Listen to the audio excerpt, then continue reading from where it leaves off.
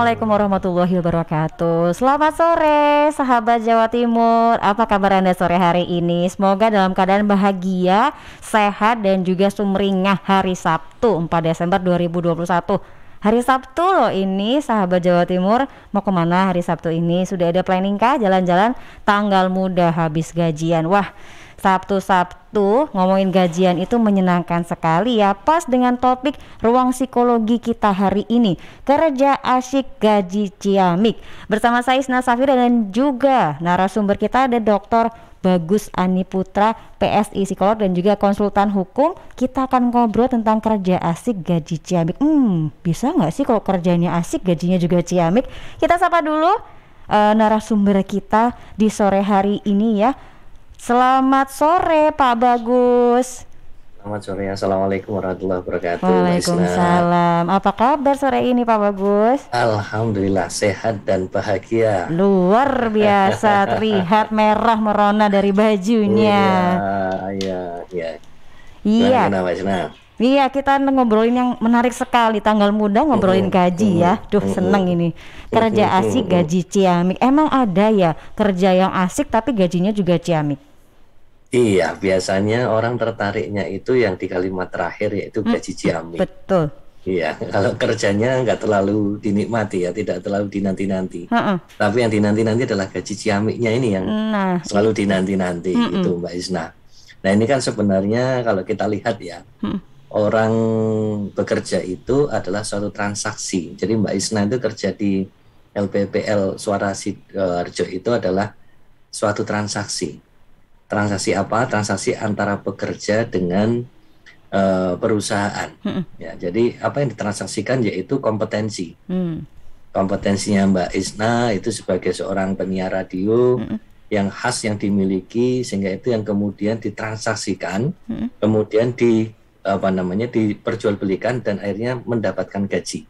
Jadi transaksinya antara kompetensi dan gaji. Hmm. Gitu. Nah, tetapi gaji itu pun juga memotivasi seseorang. Memotivasi seseorang itu secara menyeluruh ya, secara hmm. menyeluruh. Jadi kalau kita lihat gaji tadi ya, kalau kita lihat gaji yang ciamik tadi juga hmm. akan memotivasi kompetensi seseorang untuk meningkat. Hmm. Sebaliknya kompetensi yang wapi gitu ya, itu hmm. juga akan meningkatkan gajinya agar bisa ciamik gitu. Hmm. Tapi sebenarnya ada saat, ada beberapa hal yang dilewati sebelum kita mendapatkan gaji ciamik. Hmm. Apa Jadi itu? ada kerja yang asik, mm -hmm. terus kemudian gaji ciamik, tapi ada perantara-perantara variabel yang lain yang ini kita bahas sore ini, Mbak Isna. Ya, jadi kalau kita kita lihat urutannya itu orang ma, kalau mau kerja asik, hati harus senang. Nah, itu kata kuncinya. Mm -hmm. Hati harus senang. Hati itu harus disenangkan dulu, senono hatimu dulu. Mm -hmm. Nah, ini ketika senang hati, maka seseorang itu akan mudah mendapatkan informasi Nah, jadi kata kuncinya ketika orang sudah senang hatinya, hmm. maka informasi apa pun itu akan mudah masuk. Hmm. Ya, termasuk tanggal muda ini tadi kan senang ya hatinya ya. nah, kalau ketika senang hatinya hmm. itu harusnya ya lazimnya itu adalah informasi-informasi arahan-arahan bos hmm. itu akan mudah masuk karena hmm. semringah wajahnya hmm. tadi disebut di awal oleh Mbak Isna. Hatinya bunga, hatinya senang gitu ya. Informasi mudah masuk, ya kemudian informasi mudah masuk dan dicerna inilah yang menyebabkan kerja kita itu menjadi asik mm. dilampaui tahap pertama. Mm -mm. hati senang informasi mudah masuk kerjanya asik. Nah mm kalau kerja asik menikmati suatu pekerjaan maka hasil kerja atau kinerjanya itu akan menjadi semakin apik kinerjanya itu akan semakin apik hasil kerjanya karena dia menikmati. -mm. ya dia menikmati. Nah menikmati pekerjaan itu dan hasil kerjanya itu akhirnya membuat api, mm-hmm. itulah yang kemudian terjadilah suatu penghargaan atas transaksi tadi mm-hmm. berupa apa gaji yang ciami mm. gitu ya. Tapi awal-awalnya itu harus senangkan dulu hatimu gitu mbak. Mm-mm. Nah ini agak susah itu susah sekali nggak agak itu susah sekali loh kok jadi curhat ini. Terus iya, tipsnya bagaimana? Uh-uh. Hmm. Bagaimana? Tipsnya ya, ya langsung betul. tipsnya boleh boleh ya kalau kita ingin menyenangkan hati saat kita bekerja, mm -hmm. kita itu ada suatu gini Mbak Isna. Manusia itu adalah makhluk yang punya banyak topeng. Mm -hmm. ya, atau disebut sebagai multi, multiple role gitu ya, punya banyak peran. Mm -hmm. Nah, antara peran satu dengan peran yang lain itu akan terjadi suatu konflik di dalam internal manusia. Mm -mm. Jadi contohnya, uh, mohon maaf, Mbak sudah menikah ya? Sudah. Nah, sudah menikah. Kemudian ada anak, ada suami, baru ya mohon maaf, baru ada keributan kecil dengan suami di rumah. Mm -mm. Nah, kemudian ketika ada keributan kecil dengan suami di rumah itu hati jadi bete kan? Mm -mm. Nah, ketika hati bete ini biasanya topeng dari rumah tadi kebawa dalam topeng pekerjaan. Hmm. Nah ini ini yang kita sebut sebagai kita ini punya banyak peran, hmm. kita ini punya banyak topeng dan orang yang kemudian sehat hmm. dikatakan oleh seorang tokoh psikologi itu kita harus here and now yang pernah kita bahas mbak. Hmm. Gitu. Jadi kita ini harus tahu sekarang ini ada di mana dan di mana hmm. baru ngapain. Hmm. Jadi kalau misalnya Mbak Isna kemudian istilahnya tadi itu baru baru apa namanya cekcok dikit dengan mm -hmm. suami kemudian sadar bahwa sekarang ini saya baru siaran loh mm -hmm. maka saya akan tanggalkan topeng sebagai mm -hmm. istri tadi mm -hmm. di luar gitu ya kemudian mm -hmm. sekarang sudah masuk studio maka saya pakai topeng yang uh, penyiar gitu mm. nah in, ini artinya ketika kita sudah tahu kapan kita menggunakan topeng kita here and now tadi -hmm. maka kita bisa menikmati dan orang menikmati itu orang menikmati itu tidak terasa waktunya itu akan cepat banget. Ini kalau orang menikmati. Tapi kalau orang yang baru BT nggak menikmati itu kok lambat ya waktunya gitu ya. Pengennya kok pengen keluar di studio dan lain sebagainya. Ini ini menikmati ya. Orang menikmati itu kata kuncinya selain tadi kita sudah here and now ya bahwa ojo mikir ngarep. Mm. Jadi jangan pikirkan apa yang akan terjadi nanti.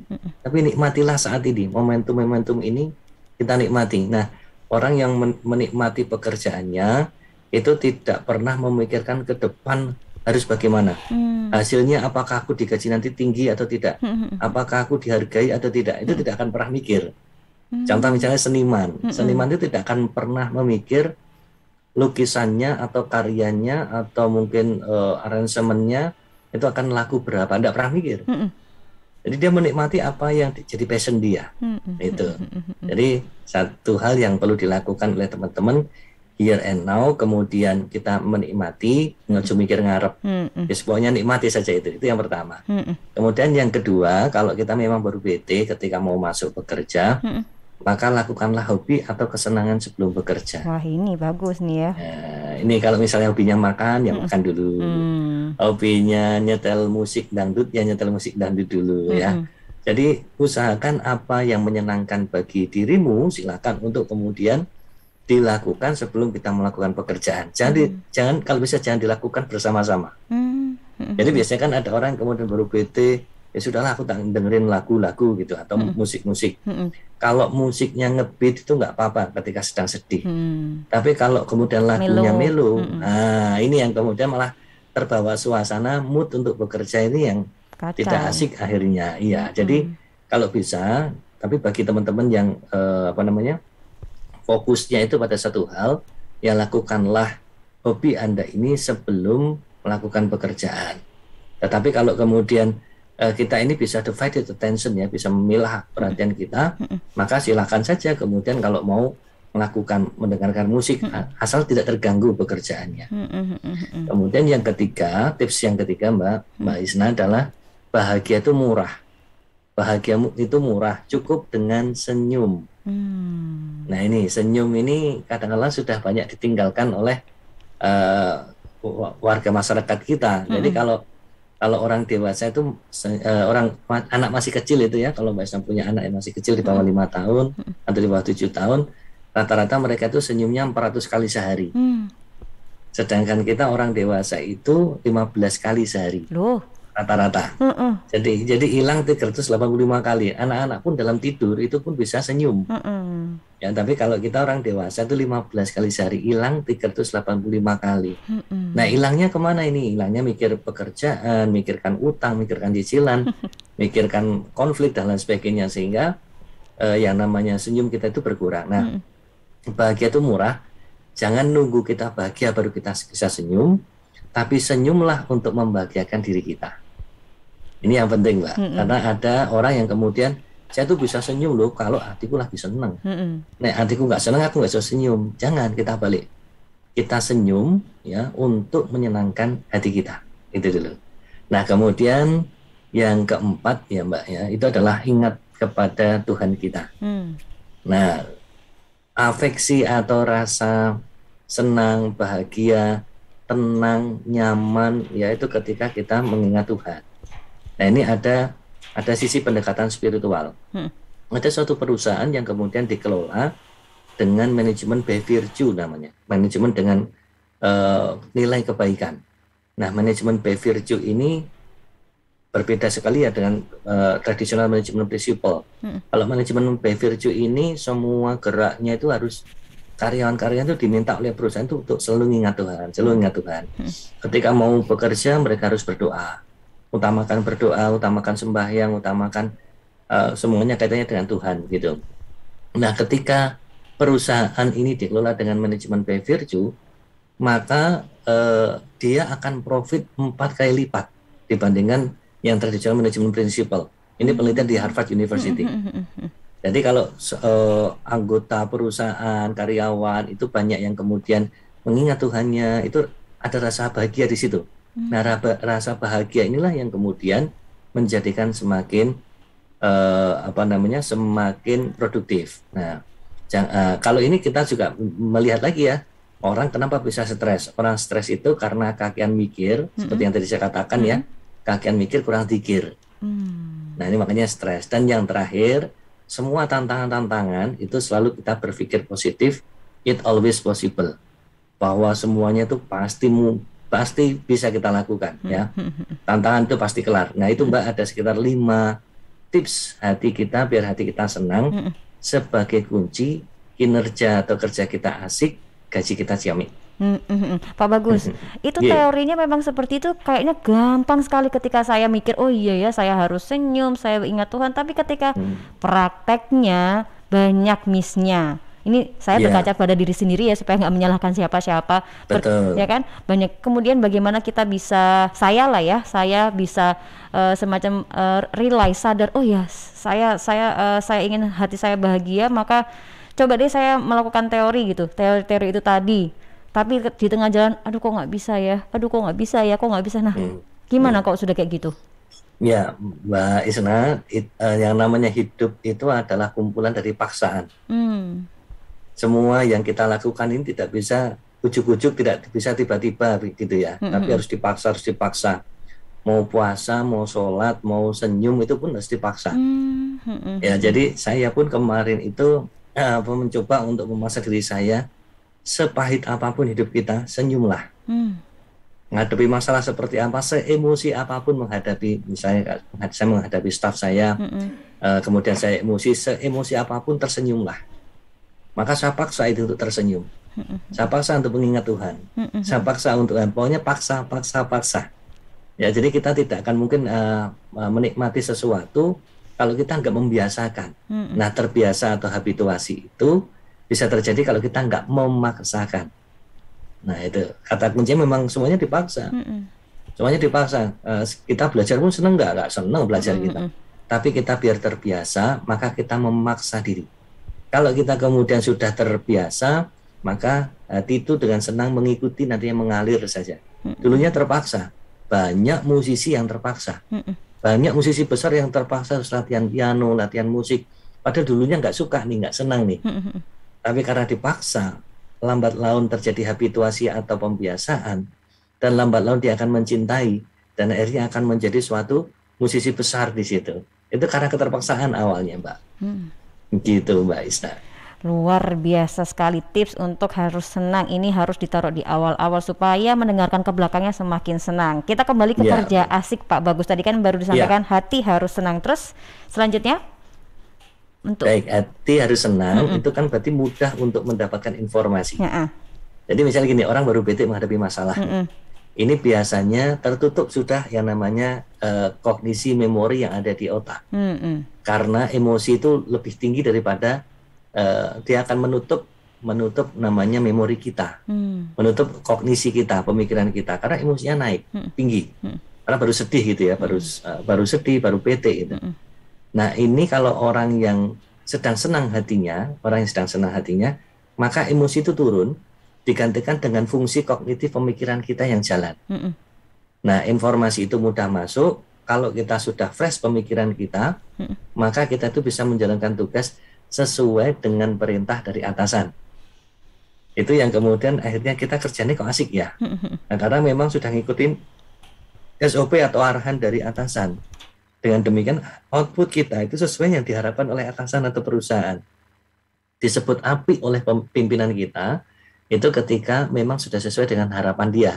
Kan itu. Jadi kalau misalnya saya kemudian diminta untuk mengerjakan dalam waktu dua jam suatu hmm uh, penugasan untuk menghitung investasi, return of investment misalnya. Hmm. Saya diminta waktu dua jam sudah selesai. Hmm. Dalam waktu satu jam saya sudah bisa menjalankan itu, itu hmm. artinya kinerja saya api. Hmm. Hmm. Karena sudah memenuhi dari tuntutan dari atasan saya. Hmm. Nah itulah yang kemudian kerjanya asik, kinerjanya api. Nah ini nanti akan berimbas kepada penghargaan. Hmm. Ya jadi jangan kemudian langsung menujunya ke gaji ciamik dulu, tapi penghargaan dulu. Ini pelan-pelan ini. Jangan kemudian wah api langsung dibayar. Tidak. Tapi tapi kemudian eh, kita menunggu adanya penghargaan dulu. Nah penghargaan bisa macam-macam. Penghargaan itu bisa imaterial atau material. Misalnya immaterial itu adalah bagus acungan jempol ditepuk pundaknya dikasih senyum diramain sama pimpinan diajak apa diajak ke mana-mana oleh pimpinan itu yang penghargaan artinya. Kita dimintain pendapat oleh pimpinan itu penghargaan. Jadi fase kita penghargaan imaterial ini, ini memang lebih lama dulu, baru nanti akan muncul, oh ya ini anak bagus untuk kemudian ditingkatkan karirnya atau dinaikkan gajinya. Oh, nah ini baru muncul hmm. gaji yang ciami, gitu Mbak Isna. Memang kunci pertamanya itu hati harus senang tapi menyenangkan hati itu kayaknya PR-nya ada lima ini tadi ya lumayan susah yeah. ini lima, yeah.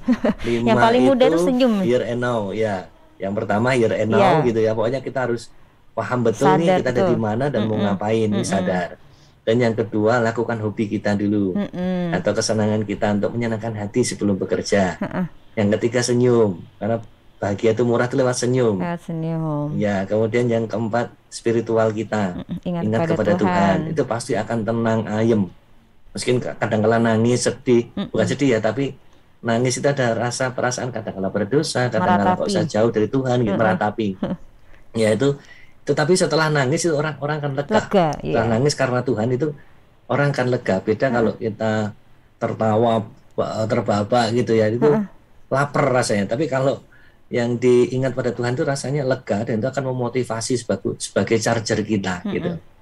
Nah kemudian yang kelima itu kalau kita menghadapi tantangan kita pasti bisa.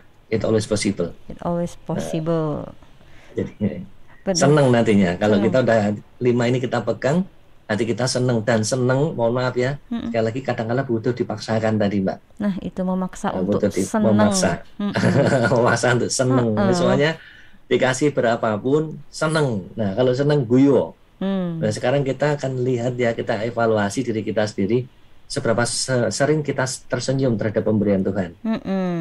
ya kadang-kala kita harus paksa seneng seneng ya Allah ini dah cukup ini lebih dari cukup ya Allah hmm. meskipun dalam hati kita masih belum gitu ya belum hmm. belum karena kalau ditur nggak diturutin kalau diturutin ya nggak bakal bisa ter apa namanya bisa memenuhi semua hmm. gitu ya tapi yang penting senangkan hatimu terlebih dahulu Uh, uh, uh. Pak Bagus tadi menarik ini ada yang Pak Bagus sampaikan evaluasi diri sendiri. Nah, bagaimana saya mengevaluasi diri sendiri? Apakah kerja saya ini sudah asik apa belum ya? Atau jangan-jangan saya selama ini terpaksa loh, aduh Pak Direksi mendengarkan susah ini nanti. iya. gimana gimana Pak Bagus? ya jadi uh, ada performance appraisal ya penilaian hmm. kinerja. Penilaian kinerja itu memang kalau yang bagus 360 degrees ya 360 derajat Mm-mm. Artinya atasan menilai, koleha menilai, Mm-mm. bawahan menilai. Mm-mm. Nah kalau bisa pun diri sendiri juga menilai, tidak apa-apa. Ya meskipun ter- terkesan narsis ya menilai diri sendiri, tetapi mm. setidaknya kita ada objektivitas dari panduan dari tem- uh, siapa saja yang menilai. Mm-mm. Atasan kalau atasan saja yang menilai kadang-kala bisa like and dislike, betul mm-hmm, ya. Betul. Dan kan kacamata atasan terhadap bawahan itu kan uh, kadang-kala atasan kita jarang ke apa kantor. namanya ke kantor mm -hmm. ya sehingga capture-nya itu hanya pada saat bertemu saja mm -hmm. sehingga tidak objektif. Mm -hmm. Bawahan itu juga merupakan suara yang paling bagus karena mm -hmm. kalau kita punya bawahan kadangkala uh, orang yang sering kita aniaya dalam tanda petik itu adalah bawahan kita.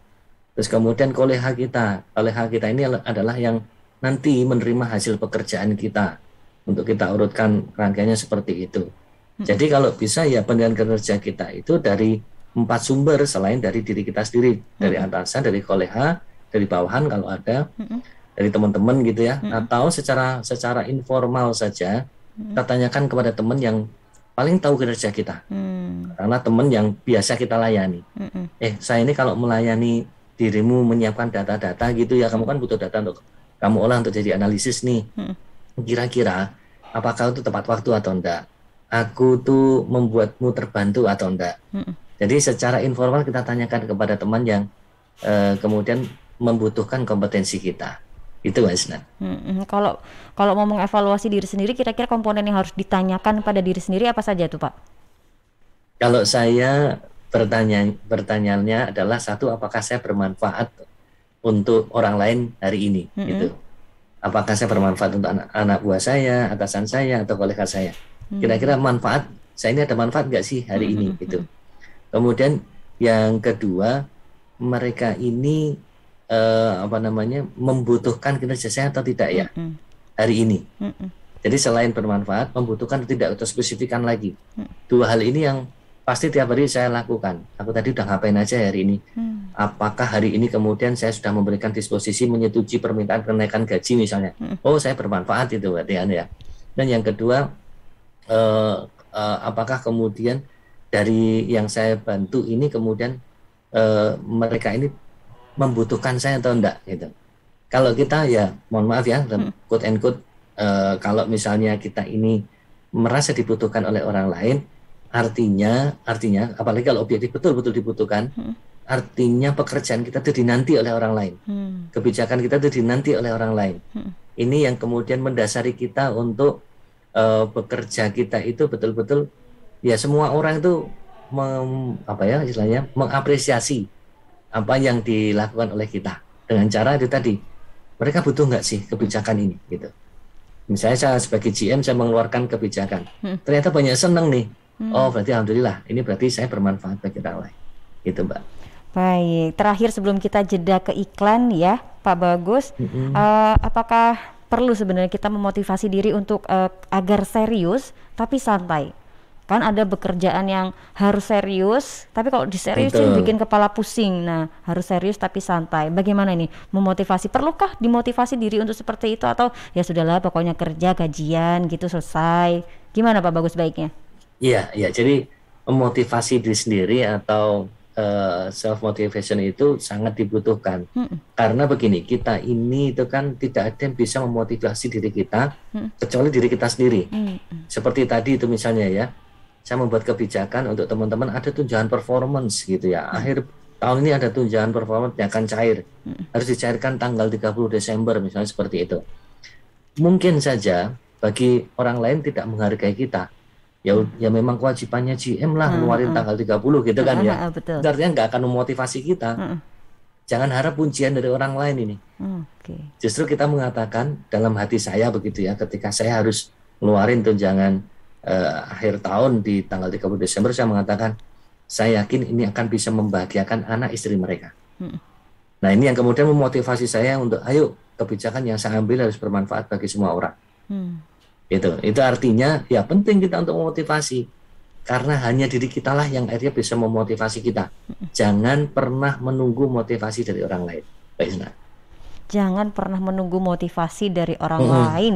Kecewa nah, nanti, nanti ke, uh, berharap sama manusia memang banyak kecewanya ya Pak Bagus ya. iya, berharap sama Tuhan Allah Subhanahu wa taala. Nah, iya lebih baik begitu. Baik Pak Bagus, kita akan ya. lanjutkan ini beberapa pertanyaan sudah masuk ya. Sahabat ya. Uh, silakan Anda uh, interaktif di line telepon boleh 8961514 atau di WA 08113091009 ya karena keterbatasan waktu.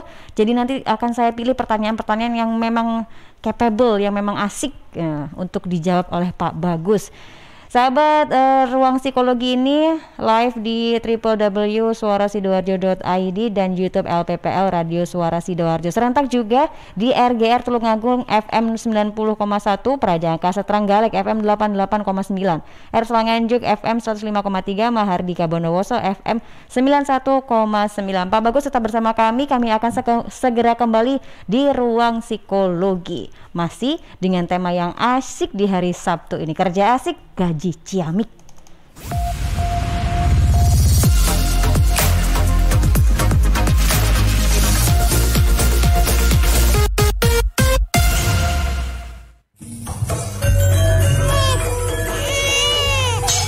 Arek iku rame lapo sih? Mulakno, nek dikandani wong tuwek dirungokno, nek durung siap duwe anak, gak usah rabi. Anake loro, pilek, watuk, ono seseke. Lho, bahaya iku. Ngomong dorong budal nang bidan. Hati-hati dan waspada ya. Demam, batuk dan susah nafas bisa jadi itu tanda-tanda pneumonia atau infeksi paru-paru. Penyebabnya bisa virus, bakteri atau jamur. Mudah menular lewat droplet saat batuk atau bersin. Tapi ini bisa dicegah dengan pemberian imunisasi PCV pada bayi dan anak anak. Imunisasi PCV selain mencegah pneumonia juga bisa mencegah radang selaput otak atau meningitis dan radang telinga tengah atau otitis media. Imunisasi PCV diberikan pertama pada bayi usia 2 bulan, dilanjutkan pada usia 3 bulan, dan dosis ketiga saat anak usia 12 bulan. Imunisasi PCV bisa didapat di posyandu, bidan, puskesmas, rumah sakit, klinik kesehatan, praktek dokter mandiri dan layanan kesehatan lain yang menyediakan imunisasi. Lapo guyu-guyu dewe? Putune wes sehat, Cak. Wes diimunisasi PCV pisan. Seneng aku. Gak pengen ngeramut bayi mana ta? Ayo tak gawe no. Iklan layanan masyarakat ini persembahan Dinas Kesehatan Kabupaten Sidoarjo. Ya kabar gembira untuk Anda pecinta pizza, sahabat Domino's Pizza hadir di Kalijaten Sidoarjo. Datang dan nikmati promo spesial opening store hari ini hanya di Domino's Pizza Kalijaten Sidoarjo. Jalan Raya Kalijaten, Kalijaten Timur, Kecamatan Taman, Kabupaten Sidoarjo. Segera order dan nikmati promo diskon 50% untuk pembelian pizza premium periode terbatas ya. Sahabat bisa order online di dominos.co.id atau call center 1500366 1500366. Dominos the best. Aku sih yes. Rokok opo iki lho, kok putihan? Ya rokok kok, ya murah, ya akeh. Rokok ilegal iki. Masa rokok rokok ilegal iki? Yo ki. Lah awakmu kok roh nek iki rokok ilegal? Rokok ilegal iki gak nek pita cukene. Samen paling roe bandrol kuwi lho. Rokok iki kudu enek merek karo nama perusahaane sing terdaftar di bea cukai. Lokasi pembuatannya di kene yo gak enek. Terus di kene rokok ilegal iki gak enek gambar karo peringatane teko pemerintah. Berarti rokok ilegal gak resmi no? Aduh ya mesti to lemul. Rokok ilegal ini merugikan negara. Mergo ora bayar cukai sing digembangun negara. Walah tutu, sepenting wong-wong gak roh. Loh, gak iso lagi. Makane to le, tuku sing pasti-pasti ae. Aja ngawur. Laporkan peredaran rokok ilegal ke kantor Bea Cukai terdekat atau hubungi nomor 15525 15525. Iklan layanan masyarakat ini dipersembahkan Bea Cukai Sidoarjo. Ayo, ngewangi Bea Cukai, berantas rokok ilegal. Bea Cukai Sidoarjo, fokus mengawasi, tulus melayani. Sahabat Bea Cukai Sidoarjo saat ini memberikan fasilitas kemudahan impor tujuan ekspor untuk industri kecil dan menengah KIT IKM. Syarat menerima fasilitas KIT IKM memiliki nomor induk berusaha, memiliki izin usaha, memiliki bukti kepemilikan lokasi usaha. Pengajuan perizinan bisa dilakukan di kantor Bea Cukai terdekat. Fasilitas dari KIT IKM, pembebasan bea masuk, tidak dipungut PPN dan tidak dipungut PPNBM. Manfaat yang didapat dari KTEKM, prosedur ekspor impor lebih mudah, penurunan biaya produksi, meningkatkan modal usaha dan arus kas lancar, serta peningkatan daya saing. Info lengkap hubungi 1500 225 1500 225 atau Facebook, Twitter, dan Instagram Bea Cukai RI dan bisa juga lewat website www.beacukai.go.id. Informasi ini dipersembahkan oleh Bea Cukai Sidoarjo, fokus mengawasi, tulus melayani. Suara Sidoarjo, lembaga penyiaran publik lokal pemerintah Kabupaten Sidoarjo.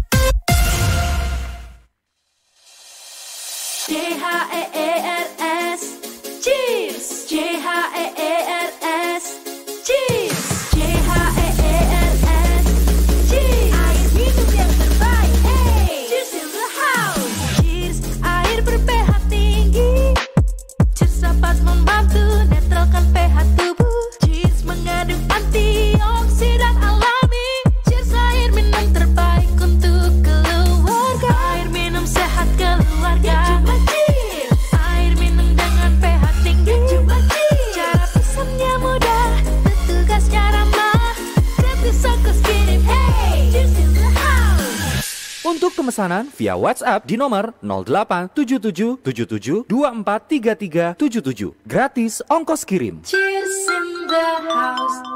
Untuk wilayah Sidoarjo dan sekitarnya bisa menghubungi Depo Candi di 0821 4225 6646 0821 4225 6646.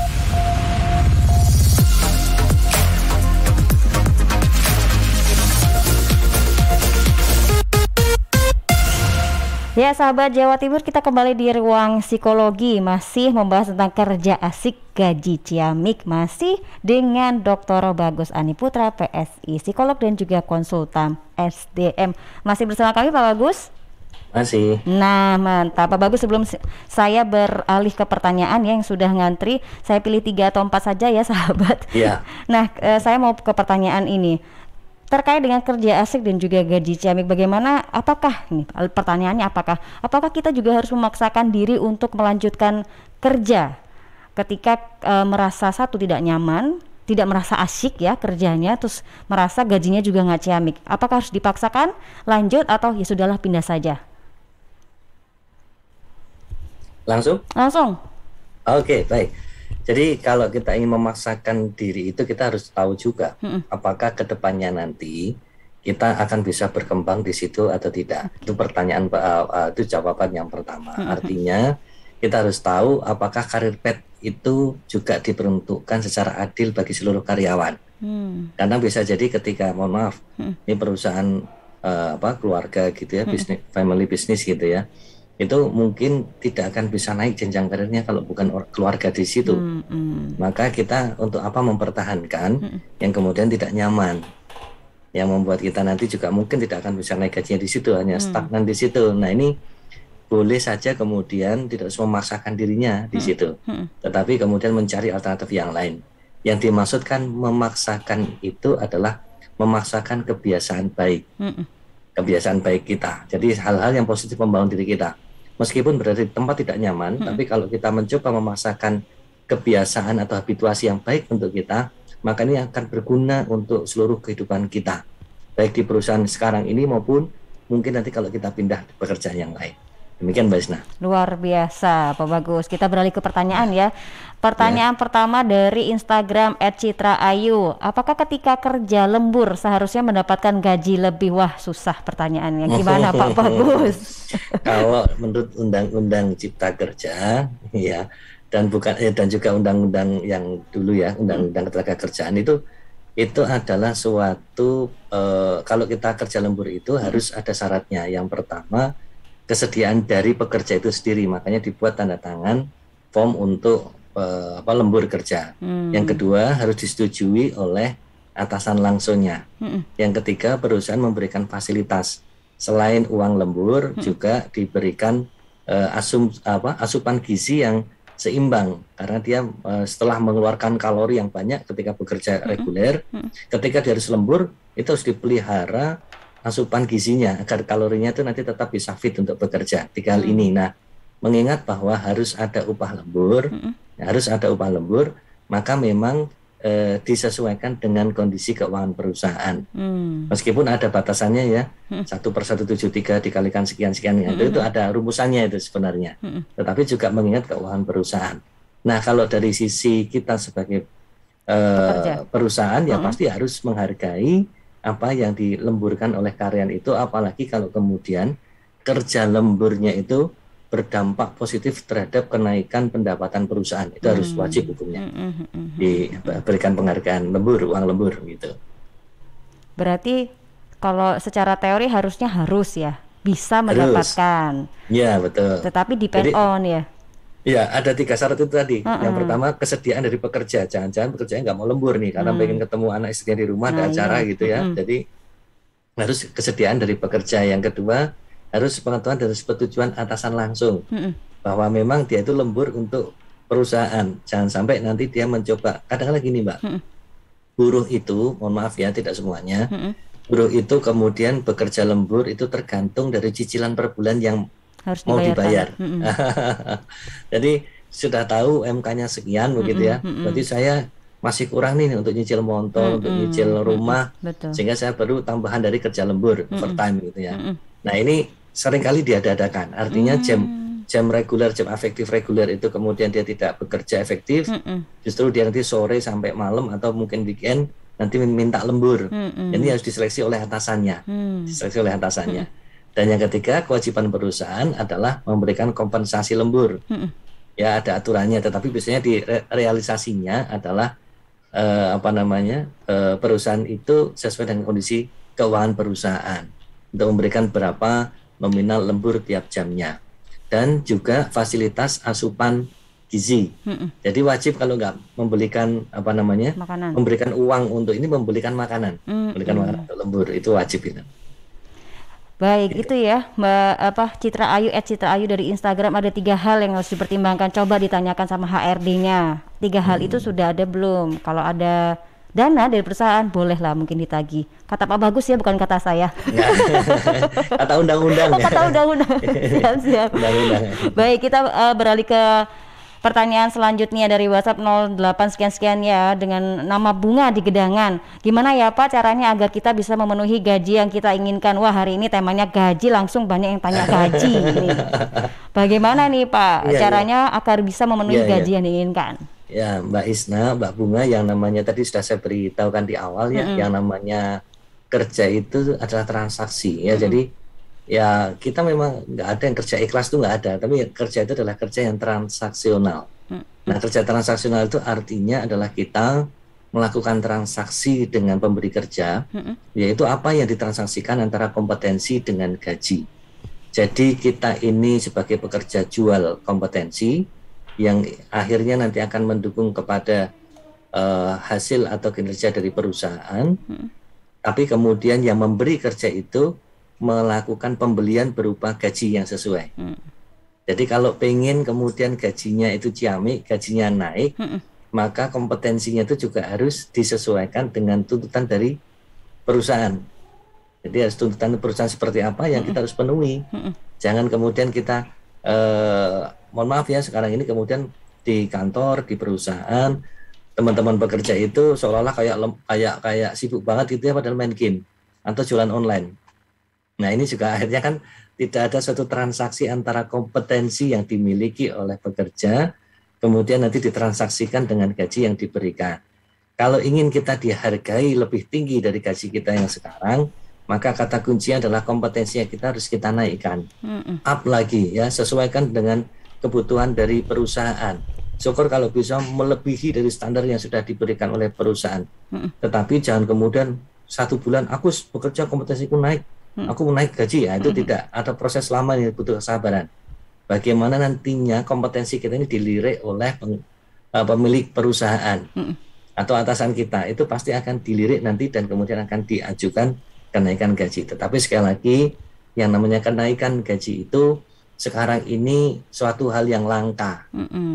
Ingat bahwa UMK aja sudah kenaikannya mungkin hanya sedikit sekali gitu ya. Itu sudah alhamdulillah Sehingga, seharusnya Pak ya. Sudah alhamdulillah mm -mm. betul. Di era pandemi seperti ini kita diberikan pekerjaan dan masih bertahan nah. di tempat kerja kita mm -mm. dan ada yang dilewati setiap bulan untuk bayar cicilan mm -mm. itu alhamdulillah. alhamdulillah. itu Azra. Pak ini ada WhatsApp lagi nih masih dari Bunga Boleh. ini dilanjutkan hmm. seperti yang menyimak kita langsung ini Pak, uh, mungkinkah saya ingin memenuhi gaji yang uh, saya inginkan? Saya nyambi Pak cabang. Nah, boleh nggak ya. seperti itu? Ya, jadi le, orang itu tadi multitasking juga ya. Mm -hmm. Jadi ada orang yang bisa multitasking itu boleh kalau memang ada suatu uh, pekerjaan yang memang di dalamnya itu kita pengen entrepreneurship gitu ya. Mm. Kita, uh, orang ini sekarang modelnya uh, lebih kepada intrapreneurship Intrapreneurship itu kita itu bekerja, tetapi bekerja di suatu perusahaan atau bekerja ikut orang gitu ya, hmm. tetapi di dalam bekerja itu kita juga menghasilkan suatu pendapatan tambahan.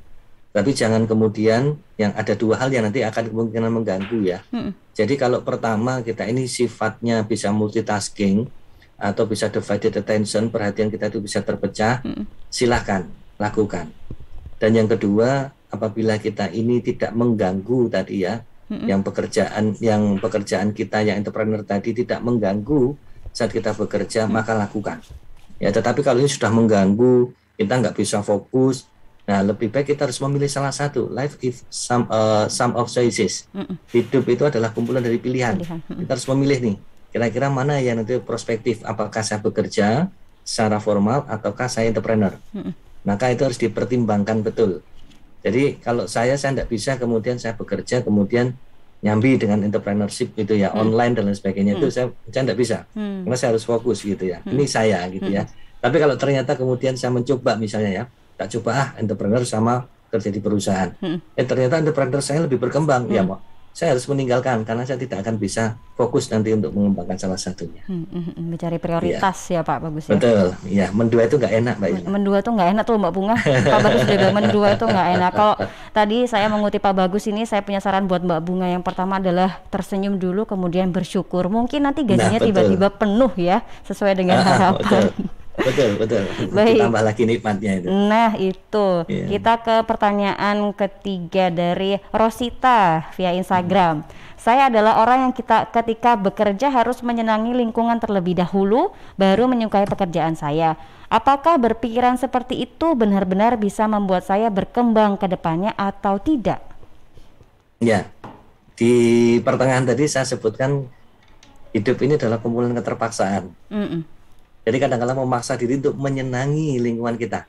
Hmm. Jangan jangan kemudian orang lain dipaksa menye, apa, menyenangi kita. Hmm, hmm, hmm, hmm. Tapi kita memaksakan diri menyenangi mereka. Hmm. Nah dari ketika kita sudah menyenangi mereka, menyenangi lingkungan kerja mereka, maka insya Allah cinta kita tidak akan bertepuk sebelah tangan. Nah, ini. ya jadi nanti mereka pasti akan support kita. Ini ternyata orangnya baik ya meskipun kita jutekin, meskipun kita cuekin ternyata kok penerimaannya bagus dirinya ini ya orang pasti akan berubah ya namanya orang punya hati kalau punya hati itu pasti akan ya merasa bahwa e, diuongke dalam bahasa Jawanya mm -hmm. nah ketika orang sudah diorangkan mm -hmm. seperti itu maka dia akan balas lagi dengan suatu kebaikan nah inilah yang kemudian e, ya boleh me menyukai lingkungan kita uh, kita harus menyukai dulu tetapi mm -hmm. jangan menunggu mereka memberikan suatu respon yang positif. Mm, mm, mm, Justru kita aktiflah untuk menstimulasi hal-hal yang positif untuk mereka. Maka insya Allah pekerja, eh, lingkungan pekerjaan itu akan menjadi apa tertarik dengan kita dan pekerjaan itu pun juga akan semakin asik. Kalau kita dapat teman yang asik, insya Allah pekerjaan itu juga asik. Aisna. Siap, begitu ya Mbak Rosita. Jadi upayakan dulu menjadi orang yang asik, nah, beraktif dulu jadi orang yang asik. Insya Allah kata Pak Bagus tadi keasikan akan kembali ke kita. Amin ya, amin. Semoga yang bagus-bagus itu kembali ke kita, yang jelek-jelek ya kembalinya ke yang jelek juga.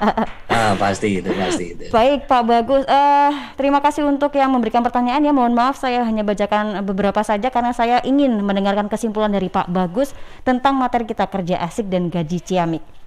Iya. Jadi Mbak Isna dan uh, teman-teman yang lain bahwa ketika kita menginginkan gaji ciamik, hmm. yang perlu kita sadari adalah kinerja kerja kita itu harus asik. Nah, hmm. satu kata kunci ketika kerja kita mau asik, maka senangkanlah hati kita terlebih dahulu. Banyak cara yang bisa kita lakukan. Salah satunya yang murah meriah, tidak pakai marah adalah kita harus banyak tersenyum. Hmm.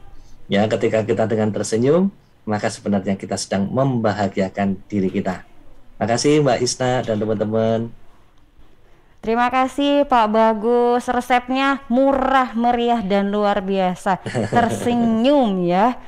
Tersenyum itu ternyata selain membahagiakan diri, membahagiakan orang, ternyata bisa mendatangkan rezeki. Siapa tahu ada produser lihat betul. tersenyum jadi foto model ya Pak ya. Ya betul itu harus, harus dipaksakan itu. Uh, terima kasih Pak Bagus sudah berbagi ya. di sore hari ini. Sehat selalu. Ya, sehat selalu Isna. Terima kasih Pak Bagus. Selamat beraktivitas. Assalamualaikum warahmatullahi wabarakatuh. Assalamualaikum warahmatullahi wabarakatuh. Ya itu tadi sahabat obrolan kita terkait dengan kerja asik dan gaji ciamik di ruang psikologi bersama Dr. Bagus Ani Putra PSI psikolog dan konsultan SDM. Murah sekali tips yang diberikan, senyum dan bersyukur untuk apa pun yang terjadi di hari ini. Terima kasih kepada RGR Tulungagung FM 90,1, Praja Angkasa Trenggalek FM 88,9, Erva Nganjuk FM 105,3 dan Mahardika Bondowoso FM 91,9. Terima kasih juga untuk sahabat Jawa Timur yang sudah berpartisipasi interaktif di ruang psikologi. Saya Isna Safira pamit, terima kasih. Sampai jumpa. Wassalamualaikum warahmatullahi wabarakatuh.